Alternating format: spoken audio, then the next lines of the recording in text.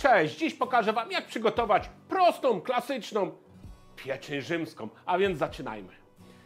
Najpierw pokroję cebulę i będziemy ją podsmażali. Kroję w kostkę, ale nie musi być zbyt cienko. Na patelnię wrzucam niewielką ilość masła.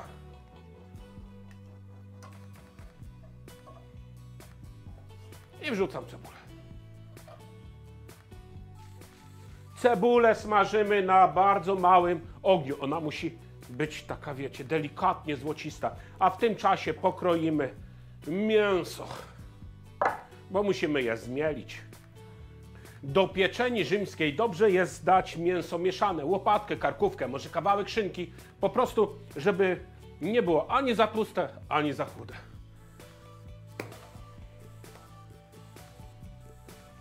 Kroimy w kawałki, żeby się do maszynki zmieściło. Listę składników znajdziecie w opisie filmu. Co ile czego dałem.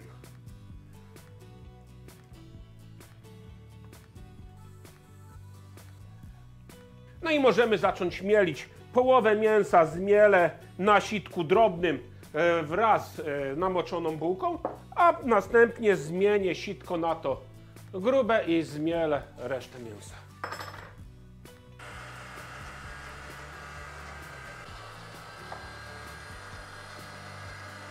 Wrzucam bułkę.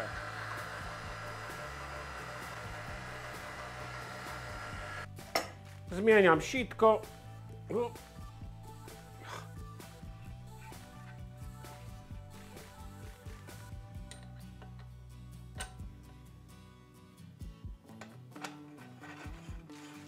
I jedziemy dalej. To taki pit stop jak w formule.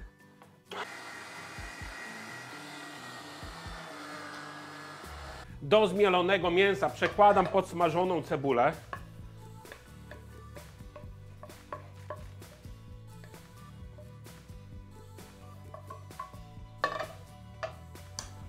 Wcieram trzy ząbki czosnku.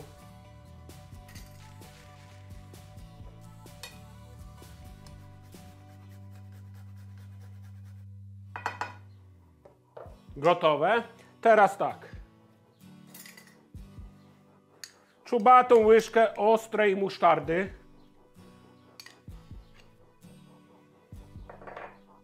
Dodaję również czubatą łyżkę chrzanu. Majeranek. Powiedzmy dwie płaskie łyżki.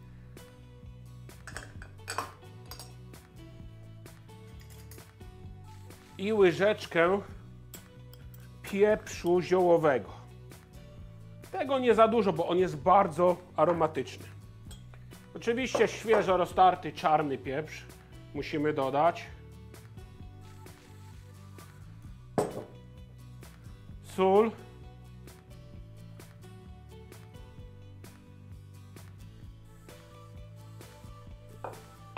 I wbijam dwa jajka.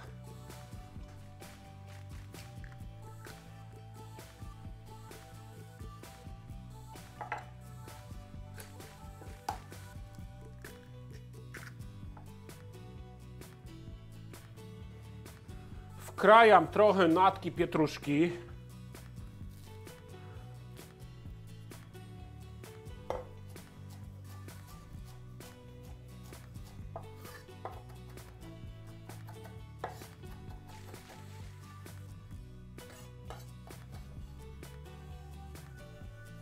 I dokładnie wyrabiam na jednolitą masę.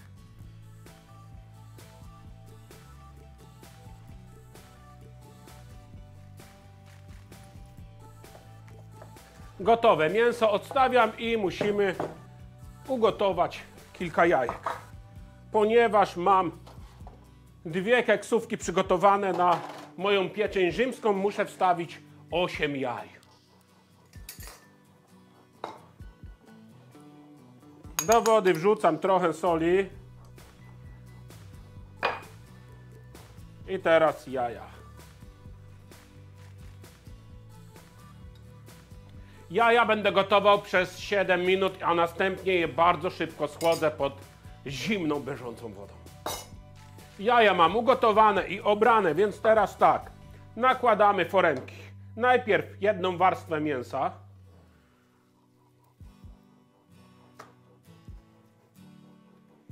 A, foremki mam wysmarowane masłem i przesypane bułką tartą.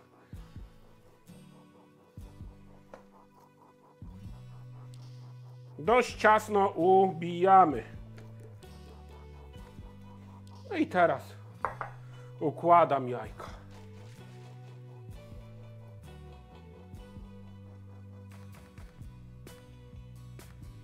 Jedno po drugim.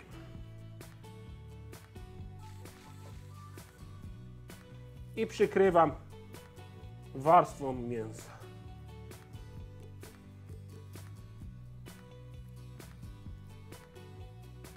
Pamiętajmy, żeby dobrze brzegi połączyć. Górę smaruję roztrzepanym jajkiem.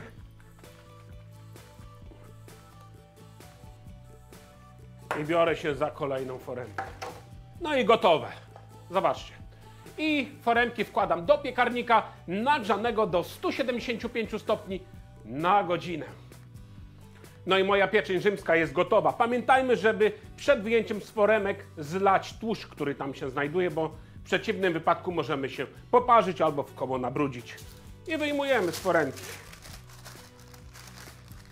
A i trochę odczekajmy, żeby nie było bardzo gorące. O, widzicie? Tłuszczu trochę jeszcze zleciało, ale nie, nie dużo. Jeżeli podajemy na ciepło od razu, to możemy kroić. Jak nie, to czekamy, aż wszystko przestygnie. Wtedy dużo łatwiej będzie się kroiło. Bo teraz pieczeń jest bardzo delikatna. Zobaczymy, czy w jajko trafię.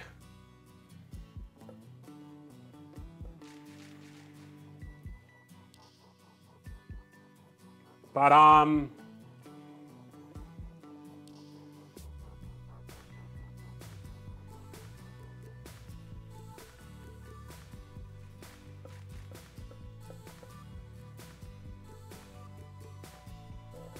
Zobaczcie, jaka jest idealna i jaka soczysta. Spróbujmy więc.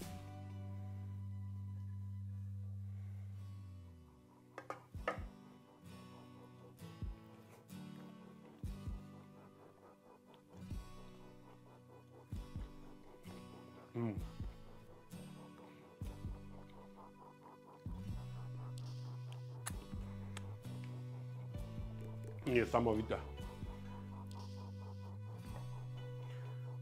Mordka się cieszy, jak wszystko tak się udaje. Zobaczcie. A ja się dzisiaj z Wami żegnam i zapraszam Was do subskrybowania mojego kanału, wciśnięcia dzwonka, który poinformuje Was, kiedy wrzucę film. No i życzę Wam smacznego. Mm. Uwielbiam to.